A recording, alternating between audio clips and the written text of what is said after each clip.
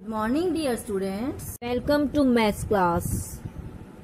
Yes students, today we will study about conversion of chemical energy into electric क्या मतलब है बेटा? कल हमने पढ़ा था कि इलेक्ट्रोलाइट्स क्या होते हैं ठीक है? थीके? तो आज हम पढ़ेंगे केमिकल एनर्जी को इलेक्ट्रिक एनर्जी में कैसे चेंज किया जाता है। We know that it is possible to convert one form of energy into another ये हमें पता है हम एनर्जी ट्रांसफॉर्मेशन पढ़ के आए हैं सिक्स और सेवंथ में। However energy can neither be created not be destroyed yes ये कंजर्वेशन ऑफ़ एनर्जी का रूल है ना, कि एनर्जी ना तो बनाई जा सकती और ना उसको डिस्ट्रॉय किया जा सकता। It can only be change from one form to the another ये सिर्फ़ एक फॉर्म से दूसरी फॉर्म में चेंज हो सकती है, ना ये बनाई जा सकती, ना ये डिस्ट्रॉय की जा सकती। The list of conversion of one form of energy into another is almost endless yes देखो लिस्ट बहुत बड़ी है। मीन्स जब हम एक बल्ब यूज़ कर रहे हैं, ट्यूबलाइट यूज़ कर रहे हैं तो उसमें हम क्या दे रहे हैं? उनको इलेक्ट्रिक एनर्जी दे रहे हैं। बट और वो इलेक्ट्रिक एनर्जी किस चीज़ में चेंज हो रही है? हमारी, हमें वो लाइट दे रही है लाइट एनर्जी में चेंज हो रही है प्लस हीट एनर्जी में, ठीक है?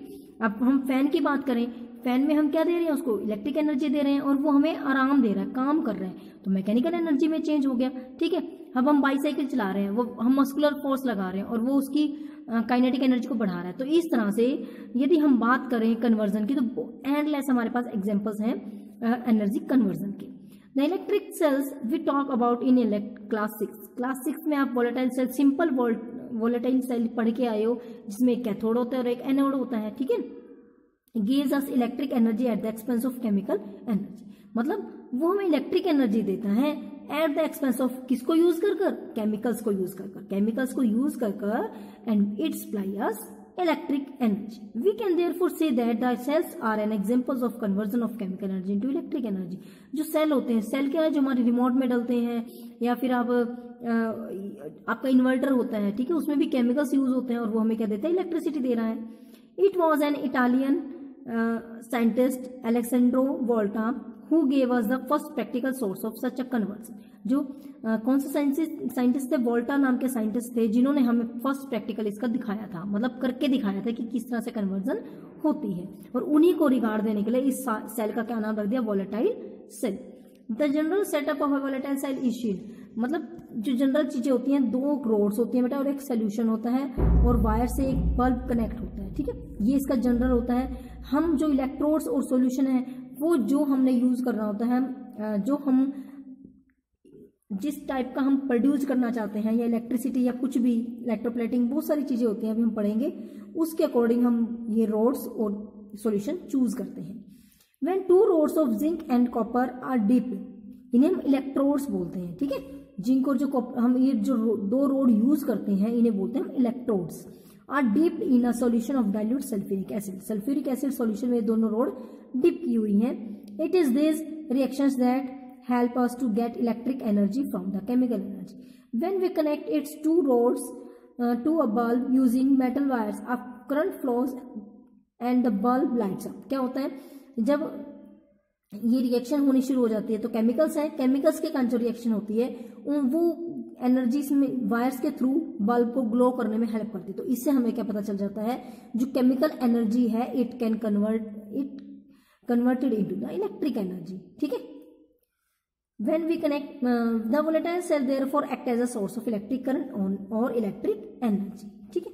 नेक्स्ट है chemical effects of electric current जब हम एक इलेक्ट्रिक करंट पास करते हैं तो उसका क्या केमिकल इफ़ेक्ट होता है? We now realise that chemical changes in a liquid can produce electric effect हमें यहाँ से पता चल गया कि जब एक लिक्विड के अंदर चेंजेस होते हैं केमिकल चेंजेस होते हैं, उससे इलेक्ट्रिक करंट प्रोड्यूस होता है। क्या is the reverse also possible क्या इसका अपोजिट भी पॉसिबल है? अपोजिट मतलब यदि हम इलेक्ट्रिक करंट दें और वो केमिकल चेंजेस करें, क्या ये पॉसिबल है? Can an electric current passing through liquid result in chemical changes Michael Faraday a well known British experimental physicist began his experiment on the passage of electricity through liquids तो जो Faraday new another scientist थे, जिन्होंने इसके ऊपर अपने experiments किए ही observe interesting changes उन्होंने बड़े अच्छे चेंजेस इसमें ऑब्ज़र्व किए। करंट पास ही, उन्होंने क्या ऑब्ज़र्व किया बेटा? जब करंट पास कर रहे हैं through an ionic solution the resulting affect are known as the chemical effect of current जो अफेक्ट होते हैं, जो प्रभाव पड़ता है इलेक्ट्रिक करंट का that are called the chemical effects of current Faraday called the phenomena resulting from the passage of electricity through liquids as electrolysis तो उसने इस फिनोमिना को, इस प्रक्रिया को क्या नाम दे दिया? इलेक्ट्रोलिसिस देखो electro means electricity lysis means break down when electricity passed then जो आपका लिक्विड होता है, वो क्या है? अपने आयंस में टूट जाता है. So it is called the electrolysis this is because it causes chemical changes within the electrolyte okay बेटा? Let us now perform activity to find out what kind of chemical changes अब हमें activity करके देखते हैं कि किस तरह के चेंजेस उसमें होते हैं। ये क्या है बेटा? To demonstrate the electrolysis of water जब हम इलेक्ट्रोलिसिस ऑफ़ वाटर कर रहे हैं वाटर किससे बना हुआ है? H two O H positive and O H negative इन्होंने क्या लिया बेटा? मटेरियल रिक्वायर्ड क्या क्या चाहिए हमें? एक बैटरी इसे कहते हैं बैटरी आपको पता है ना? ये पॉजिटिव नेगेटिव ये एक सेल कहलाता है और जब टू और मोर सेल कनेक्ट हो जाते हैं that it is called the battery two graphite pencils, pencil जो आपकी सिंपल एक पेंसिल होती है it is made up of graphite a beaker tap water connecting wires and tap tape ठीक है बेटा? ये क्या करते हैं हम? एक बीकर के अंदर ग्रेफाइट रोड्स को हैंग कर देते हैं, ठीक है? एक सर कैसे हैंग करेंगे? ऐसे तो हैंग होंगे नहीं। एक कार्डबोर्ड ले लेते हैं, गत्ता ले लेते हैं, उसके अंदर होल कर देते हैं टू और उसमें हम पेंसिल को उस होल के अंदर पेंसिल को डाल देते हैं, उनसे वो हैंग हो जाती हैं, ठीक है? आधी ऊपर होगी, आधी नीचे होगी। जब इसमें क्या ऑब्ज़र्व किया गया बेटा? जब इलेक्ट्रिसिटी पास की, क्यों हमने बैटरी यूज़ की है? जब यहाँ से इलेक्ट्रिसिटी पास हुई, तब हमने देखा कि इसके अंदर क्या होंगे? बबल्स बनने शुरू हो जाते हैं, ठीक है? ये देखो, ये क्या ग्रेफाइट पेंसिल्स हैं। यहाँ पर हमें बबल्स नज़र आते हैं। तो इनसे बबल्स कब बनते हैं? जब एयर होती है। तो इसका मतलब कि यहाँ पर कोई ना कोई गैसेस बननी शुरू हो गई। तो इसी से पता चल जाता है कि जब हम, क्योंकि हमने तो पानी लिया था लिक्विड लिया था, और लिक्विड से क्या बन गई? गैसेस बन गई। तो इससे पता चलता है कि जब इलेक्ट्रिसिटी पास हुई तो कुछ ना कुछ केमिकल चेंजेस हुए। तो इसी, यहीं से हमें इलेक्ट्रोलिसिस का पता चलता है। Sharpens both hands of the both pencils fill the beaker with tap water जो आपने पेंसिल ली है, उसको दोनों तरफ़ से शार्प कर लो। देखो, दिखा भी रखी है शेप ठीक है? Make a simple circuit as shown below it is important to make good contact with the graphite in the pencils secure the wire with tape जो वायर्स लगाते हैं, हम क्या बोलते हैं? ढीली हो जाती है कई बार। तो उसको अच्छे से टेपिंग कर दो ताकि वो ठीक रहे। क्योंकि यदि ढीली हो जाएँगी तो क्या होगा? ये कनेक्शन टूट जाएगा। और वो ग्लो वो जो हमें बबल्स नज़र आ रहे हैं, वो नज़र नहीं आएँगे। Use a piece of cardboard to hold the pencils in a vertical position. Place the exposed tip of the pencil in a water. Exposed मतलब जो ये बाहर से दिखती होती है टिप ठीक है? Black black and place the expose such that tips are fully submerged but are not touching the bottom इसके अंदर डूबी होनी चाहिए, लेकिन बॉटम को टच नहीं करी होनी चाहिए, ठीक है? We are using the two pencils as the electrodes तो जो ये हमने पेंसिल यूज़ करी है, इनको हम क्या कहते हैं? इलेक्ट्रोड्स कहते हैं। Now wait for three four minutes three four minutes तक जब हम बैटरी सेटअप होगा, उसके बाद तीन, चार मिनट के बाद बबल्स निकलने शुरू हो जाएँगे। Small gas bubbles are seen to be getting form near the electrodes can we call this change taking place in the tap water a chemical change yes chemical change कह सकते हैं ठीक है बेटा It was a British chemist William Nicholson who had shown that if the electrodes were immersed in water and a steady current was passed through it, bubbles of oxygen and hydrogen are produced. कौन से British chemist थे बेटा William Nicolson उन्होंने ये observe किया ये दिखाया कि जब इलेक्ट्रोड्स को इमर्ज इमर्ज मतलब डुबाया जाता है पानी में और एक स्टडी करंट स्टडी करंट का मतलब लगातार करंट दिया जाता है तो बबल्स बनने लग जाते हैं ऑक्सीजन और हाइड्रोजन के। The oxygen bubbles are formed on the electrode connected to the positive terminal तो जो पॉजिटिव टर्मिनल से कनेक्ट होता है उसे हम बोलते हैं एनोड ठीक है? जो पॉजिटिव से कनेक्ट होता है उसे बोलते हैं हम एनोड और जो नेगेटिव से कनेक्ट होता है दैट इज़ कॉल्ड कैथोड तो जो पॉजिटिव एंड से जो हमारा इलेक्ट्रोड कनेक्ट हुआ है, वहाँ पर ऑक्सीजन गैस शुरू हो जाती है। ऑक्सीजन के बबल्स निकलते हैं। और जो दूसरा एंड है, उसके ऊपर क्या होती है हमें? हाइड्रोजन हाइड्रोजन कैथोड पर डिपॉजिट होती है। तो आपको कई बार आ जाता है कि कौन एनोड पर कौन सी गैस डिपॉजिट होती है और कैथोड पर कौन सी? तो आपको पता होना चाहिए एनोड पर ऑक्सीजन और कैथोड पर hydrogen We thus conclude that the passage of an electric current through an analytic solution can causes chemical change. इससे हम कह सकते हैं कि जब हम इलेक्ट्रिसिटी पास करते हैं तो केमिकल चेंजेस होते हैं। The chemical reaction taking place in the solution depend अब बात आती है कि जो केमिकल रिएक्शन तो होगी, वो किसके ऊपर डिपेंड करती है? किसके ऊपर डिपेंड करती है बेटा वो? Number one nature of the जो चीज़ हम यूज़ कर रहे हैं नेचर ऑफ़ इलेक्ट्रोड कि जो हमने इलेक्ट्रोड यूज़ करे हैं, वो कौन कौन से मेटल से बने हुए हैं, किस चीज़ के बने हुए हैं? Nature and concentration of the solution. Solution जो हमने लिया है, उसका नेचर कैसा है? एसिडिक है, बेसिक है, न्यूट्रल है, कैसा है वो? कंसंट्रेशन, उसकी कंसंट्रेशन कैसी है? मीन्स वो इम्प्योरिटी कितनी है, उसके अंदर प्योरिटी कितनी है? दैट इज़ ओके बेटा? तो दो चीज़ों पे डिपेंड करती हैं। क्योंकि हमने दो ही चीज़ें ली हैं अंदर तो क्या लिया है? इलेक्ट्रोड लिया है, और सेकंड हमने क्या लिया है? सॉल्यूशन लिया है। Some of the prominent effects of chemical reactions taking place at the electrode and within the solutions are, क्या मतलब है? अब हमने कह दिया, हमने इलेक्ट्रिसिटी इलेक्ट्रोड भी ले लिए कंसंट्रेशन सॉल्यूशन भी ले लिया, ठीक है? अब उनका क्या इफ़ेक्ट पड़ेगा? हमें कैसे पता चलेगा कि केमिकल रिएक्शन हो गई है? नंबर वन मेटल्स में get deposit at the electrode surface जो हमारे इलेक्ट्रोड्स हमने लिए हैं, उनके ऊपर कोई दूसरा मेटल मेटल डिपॉजिट हो जाता है. नंबर टू गैसेज बबल्स जैसे अब हमने इलेक्ट्रोलिसिस ऑफ़ वाटर में देखा, उसमें हाइड्रोजन और ऑक्सीजन गैस बनी, ठीक है? इन्हें हम कोई और सोल्यूशन लेंगे जिंक सल्फेट सोल्यूशन ले लिया और उधर कॉपर की वायर ले ली। तो क्या होता है कई बार जिंक की कॉपर के ऊपर जिंक की प्लेट चढ़ जाती है जिंक के ऊपर कॉपर चढ़ा रही है, ठीक है? तो ये सब चीज़ें होती है तो इसलिए मेटल एक मेटल पर दूसरे मेटल भी डिपोजिट हो जाता है। चेंज ऑफ़ कलर यस कई बार क्या है सोल्यूशन का कलर चेंज हो जाता है, ठीक है? तो इन तीनों चीज़ों से हमें पता चलता है कि yes chemical reaction taking place next step है एप्लीकेशन एप्लीकेशन का मतलब है जो हमने ये फिनोमिना पढ़ा, ये प्रक्रिया पढ़ी, ये हमारी डेली लाइफ में किस तरह से यूजफुल है, क्या हमने इसका अप्लाई किया अपने डेली लाइफ में?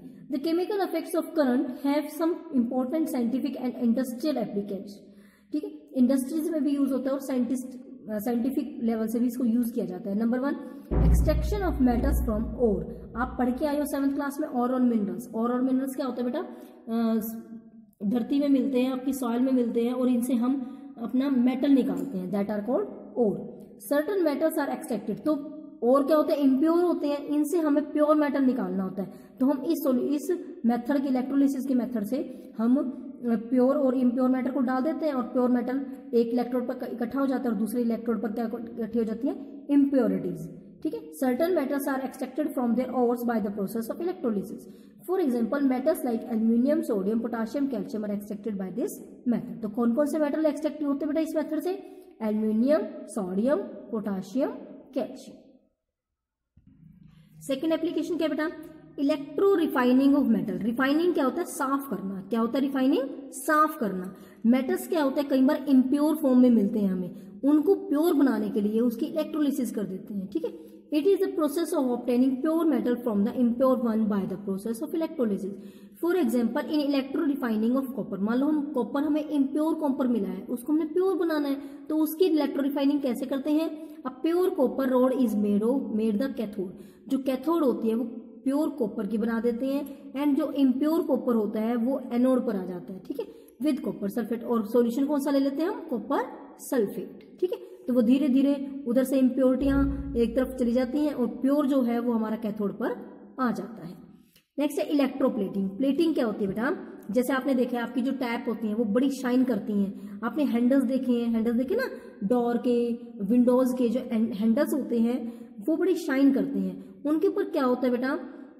एक, उनके ऊपर जिंक की परत चढ़ा, पतली सी परत चढ़ा देते हैं। आपका बाइसाइकिल है बाइसाइकिल का हैंडल होता है, बड़ा शाइन करता है। ठीक है? तो इलेक्ट्रोप्लेटिंग होती है इलेक्ट्रिसिटी का यूज़ करके हम एक मेटल पर दूसरे मेटल की परत चढ़ा देते हैं, उसे कहते हैं हम electroplating the process of depositing a thin layer of any desired metal जो हम चाहते हैं, उसी का बन जाता है। आपने जो हमारे ऑर्नामेंट्स होते हैं, हमारे सेट्स वगैरह होते हैं, ठीक है? जो ज्वेलरी एक तुम्हारी ओरिजिनल गोल्ड की होती है, वो बड़ी कॉस्टली होती है, ठीक है? तो क्या होती है, जो दूसरी होती है, उसके ऊपर कॉपर की परत चढ़ा देते हैं तो वो गोल्ड की लुक देती है। तो इसीलिए जो इलेक्ट्रोप्लेटिंग है वो बड़ा यूजफुल है। Process of depositing a thin layer of any desired metal on another material by the passage of electric current is known as electroplating we can demonstrate this through the following activity ये activity दिखाई हुई है बेटा। इसमें क्या किया हुआ ये देखो। ये एक वही सेम होता है, एक हमने बिकर लिया बॉक्स लिया, जो भी है। उसमें एक प्लेट हमने कॉपर प्लेट ले ली एनोड और ये है जिंक प्लेट कैथोड हमने इसके ऊपर जिंक कॉपर की परत चढ़ानी है जिंक के ऊपर। तो नीचे क्या लिया हमने कॉपर सल्फेट का सोल्यूशन ले लिया। अब ये क्या करेगी? कॉपर कॉपर ने जिंक के ऊपर चढ़ना है, यहाँ से ये टूटता रहेगा और धीरे धीरे इसके ऊपर जमा होता रहेगा। क्योंकि जेड एन क्या होता है? नेगेटिव जेड एन नेगेटिव और ये copper sulphate C U positive S O four negative ये इसके ऊपर जमा होता रहेगा। और जो इसका अब ये क्या धीरे धीरे कम हो रहा है? यदि ये खत्म हो गया तो इसके ऊपर पूरी चढ़ नहीं पाएगी। तो जो कॉपर सल्फेट सोल्यूशन है, ये टूट टूट के कॉपर यहाँ डिपोजिट होता रहता है, ठीक है? इस तरह से इनका सर्कल चलता रहता है और ये ये खत्म हो जाती होती रहती है। परत और इसके ऊपर ये इलेक्ट्रोड इस जिंक के ऊपर पूरा के ऊपर चढ़ जाता है। ठीक है? तो इसे बोलते हैं हम इलेक्ट्रोप्लेटिंग नेक्स्ट बेटा how does this deposition on the electrode happen कैसे हुआ ये? To understand this let us trace the flow of charges तो हम चार्जेस आयंस का फ्लो देखते हैं कि कैसे हुआ। When electric current is pass through the solution the copper sulphate solution dissociate into copper and sulphate yes जो हमारा कॉपर सल्फेट सोल्यूशन है, वो सी यू एसओ फोर होता है। वो किसमें डिसोशिएट हो जाता है? सी यू प्लस और एसओ फोर नेगेटिव में। ठीक है? Copper sulphate dissociate into copper and sulphate ions the free mobile ions copper ions are drawn to the cathode get converted into copper atoms ठीक है? और वो वहाँ पर कैथोड पर जाकर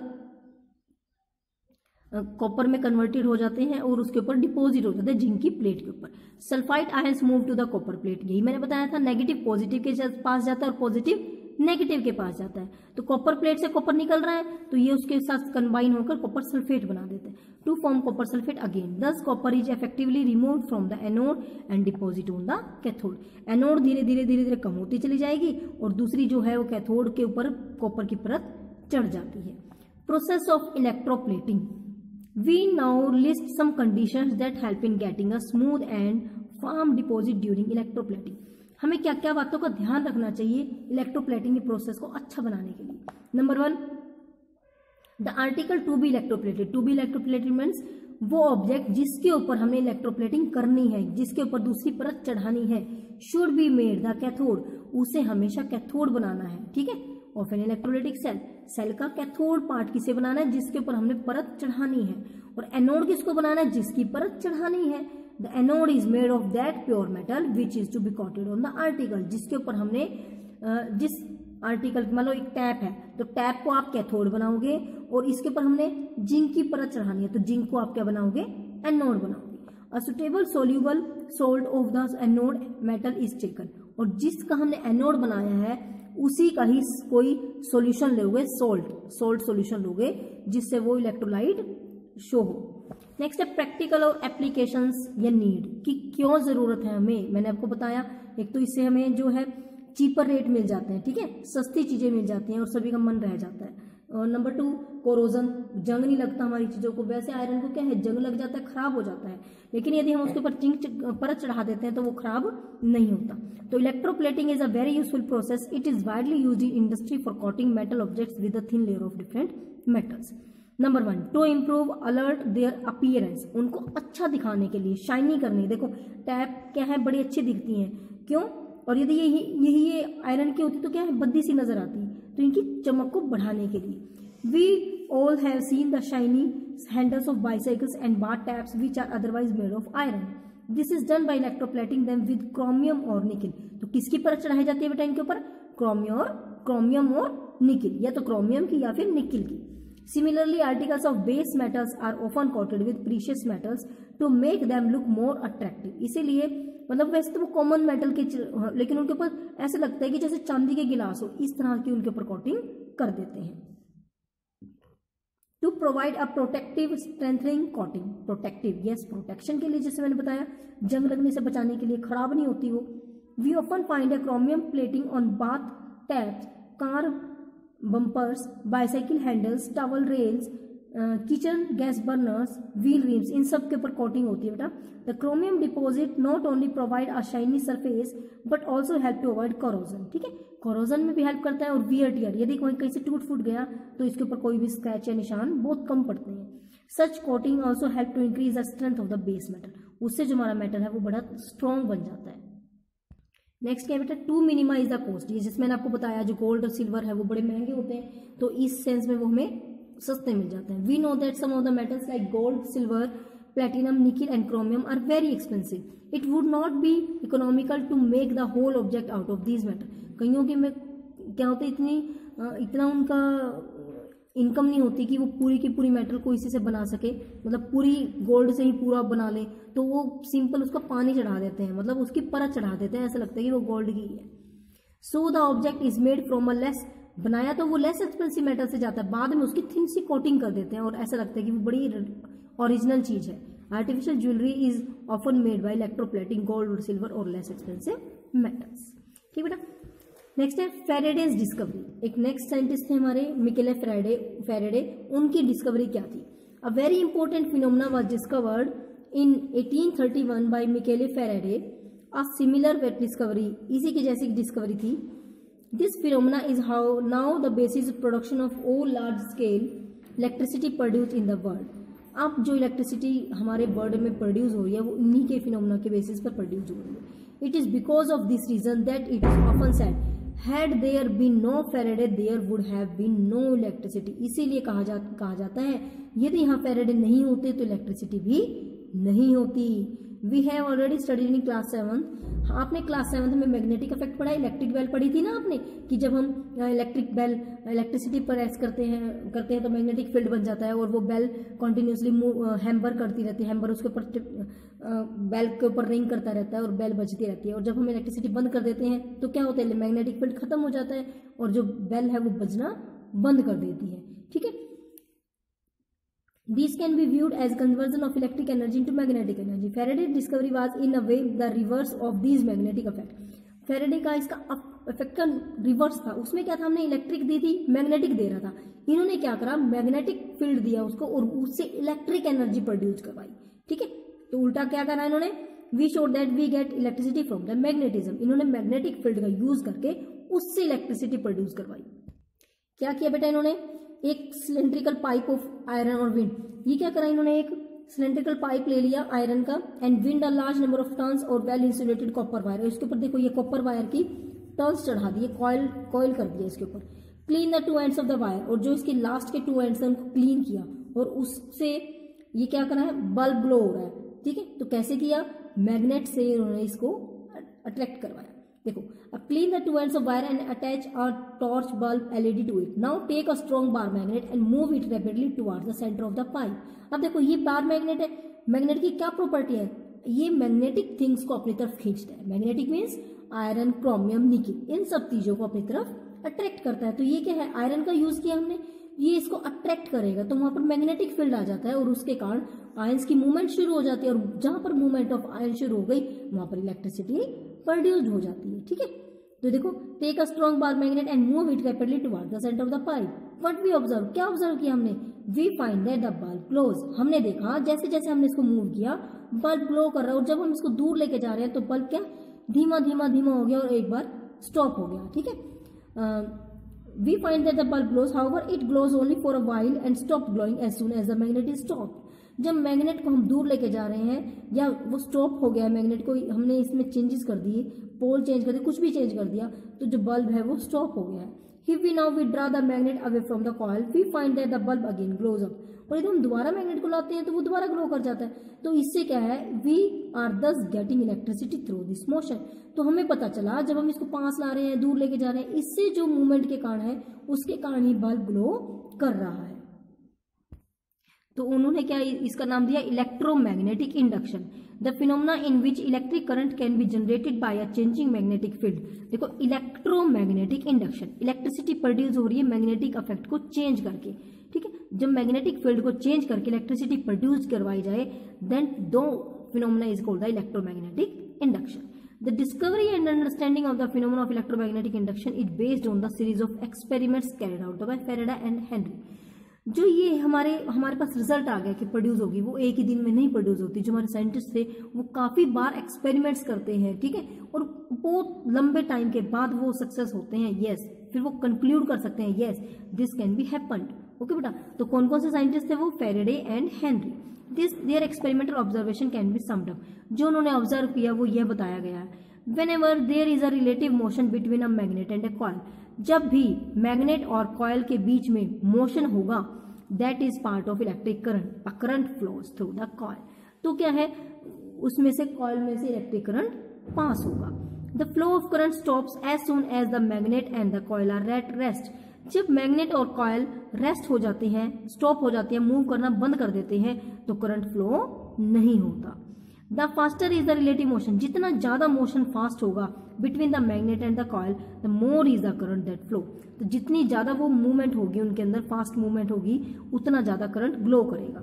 The direction of the current obtained by moving the magnet away from the coil is opposite to its direction जो direction of current जो करंट की डायरेक्शन है, जहाँ पर मैग्नेट मूव कर रहा है कॉयल के साथ, उसकी अपोजिट डायरेक्शन होगी. When the magnet is move towards the coil the phenomena of the electro magnetic induction forms the underlying principle of all modern day generators and transformer जितने भी अब हमारे जनरेटर्स और ट्रांसफार्मर हैं, वो इसी फॉर्मूले के, इसी प्रिंसिपल पर बेस्ड है।